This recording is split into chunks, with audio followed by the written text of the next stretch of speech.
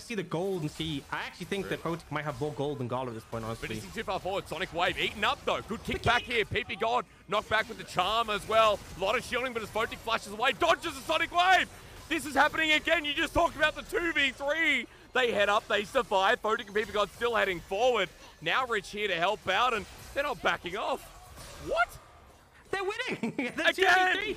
And the thing is, RNG do everything right. They find all the Open the map a little bit more, and even PP God getting caught out. The hostile takeover used. It's a good one, but Photic going in face first. The flash enabled. He's actually okay because Casa saves the day.